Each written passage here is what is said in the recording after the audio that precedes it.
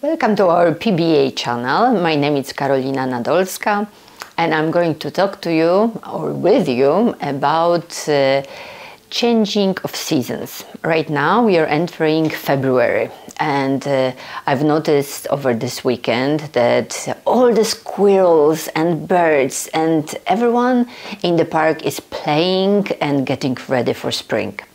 So, how do we humans prepare ourselves for spring? Well, uh, one of the uh, wisdoms that uh, Ayurveda shares with us is called the uh, adaptogens. Adaptogens are very special herbs, very powerful herbs, and that help us adapt to changing environment. So uh, probably the, the spring will be coming in uh, 30, 40 days, and we are getting ready for that big, big event. So um, uh, adaptogens uh, are very popular, very popular right now um, because of the uh, changing climate, because of the uh, heating of our planet. And there were many studies uh, over the, the last two or three summers made of with humans uh, who tested if adaptogens will help us cope with heating up of the climate and uh, they did prove that uh, we cope better with heat if we take everyday adaptogens during the summer. So it's the same uh, in winter uh, and in the transitional period. Maybe transitional period is just uh, one of the regular characteristics of changing weather uh, in our planet, but it also puts a little bit of stress on our bodies. Uh, we are coming from short, cold days to a more sunny day and warmer days. Uh, our body wants to detox uh, from all the uh, fat that we accumulated and extra kilograms. So we also want to increase our metabolism, right? And uh, uh, what, uh, if we talk about adaptogens, uh, those, uh, since they are very powerful herbs, uh, it, if you have any pre-existing conditions, it would be good to first consult with an Ayurvedic practitioner or tradi Chinese, traditional Chinese medicine or um, naturopath uh, before taking them. Uh, otherwise, uh, you should always be cautious and get the best quality and uh, preferably organic herbs. So, uh, from the, the long list of the adaptogens in Ayurveda, we have, of course, our favorite ashwagandha. Uh, we have amalaki. This is an incredible herb. This is one, one of the uh, ingredients in Triphala. Uh, we have bala. Bala it's an herb that uh, in Sanskrit and in Hindi stands for strength. So you can imagine. Uh, we we also have ginseng. Uh, we have a woman with hundred uh, husbands, Shatavari. We do have uh, tulsi. This is an herb that we talked a lot about uh, during winter when our lungs were uh, congested. Tulsi help us breathe and decongest. And so out of all of these herbs, um, I want to focus today on the uh, ginseng category. Uh, ginseng is also called in Latin uh, with as a the Latin name for ginseng is Panax. Panax from the, the Latin word panaceum. Uh, because it cures all, and because of for in the Chinese uh, beliefs and Korean, um, the the ginseng is a magical herb that can help and strengthen and go help us go through many different uh, diseases and challenges. But uh, if you go through uh, and Google ginseng, there are so many different categories of ginseng. There are at least 20 or if not 30. And some of them have the Latin name uh, Panax. Those are the, the true ginseng according to the biological uh, categorization. Some of them have different uh, Latin names, yet all of them are colloquially called ginseng.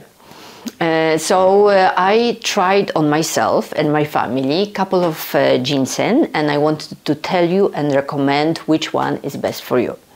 So we have the uh, the traditional, the the gin, Korean or Chinese ginseng. This is a very strong, very potent herb that uh, increases our metabolism, that pre prepares us for what's ahead.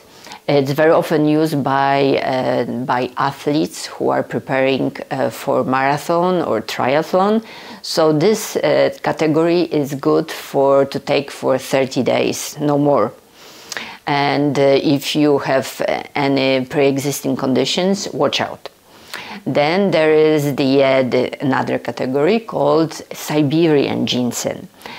Siberian ginseng, it's a little bit cooler and it's uh, specifically designed by nature to uh, strengthen our immune system, to increase our endurance.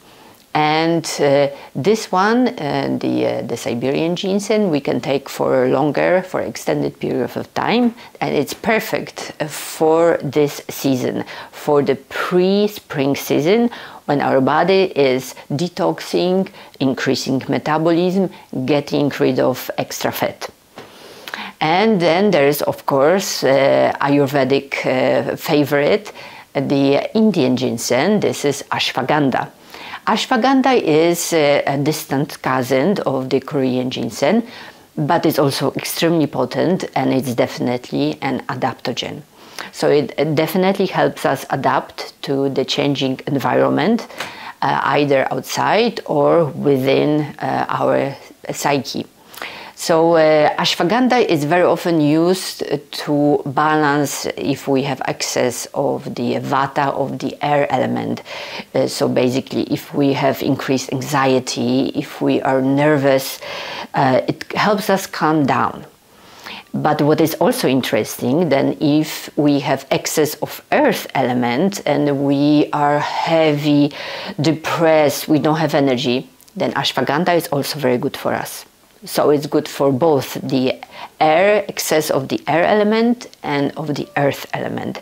And ashwagandha is very nicely taken at night uh, with, uh, with glass of milk, either animal or uh, plant-based milk.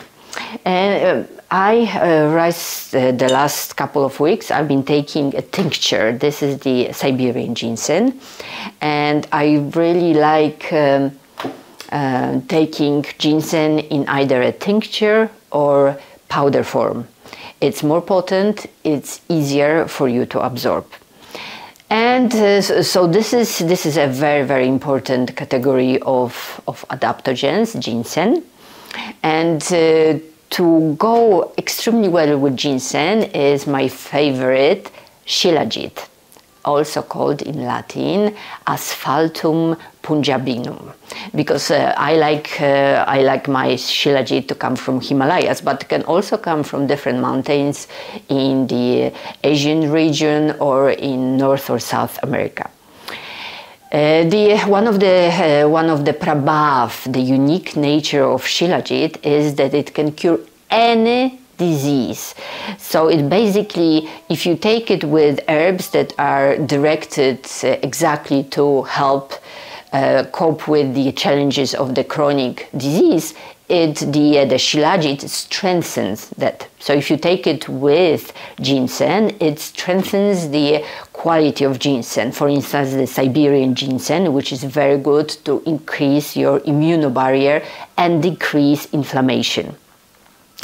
Uh, so when we talk about uh, shilajit, it's wonderful for diabetes. It's uh, it's wonderful for anemia. It strengthens you. It decreases cholesterol. It decreases average sugar level. But very often the devil is in the details, right? So shilajit uh, to work, it needs to be high quality. And to be high quality, it also needs to be purified. Uh, the, the wonderful uh, shilajit that I get from India is uh, purified with uh, triphala, bhringraj, and then yet purified again with milk and served with milk.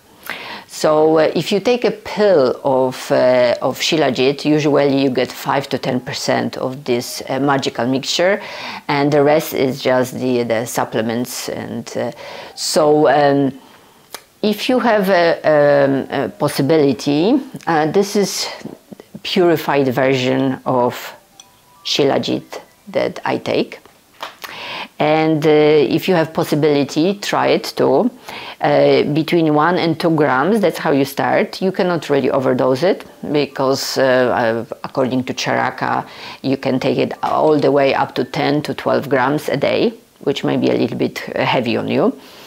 And uh, just dissolve it with hot milk and drink it at night. So um, uh, when again, when we talk about uh, coping with changes in seasons, the, the particularly the uh, pre-spring season, it's wonderful to be prepared and to start working on the cleansing um, of our bodies and uh, this is not really a time to do the liver or the lymphatic cleanse. That's most uh, that you have to probably wait one more month for end of March, beginning of April. But this is a wonderful time to start with adaptogens such as ginseng and such as shilajit.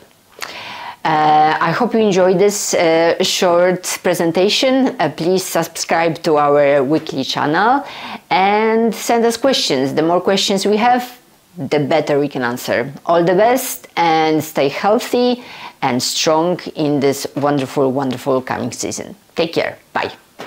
Namaste.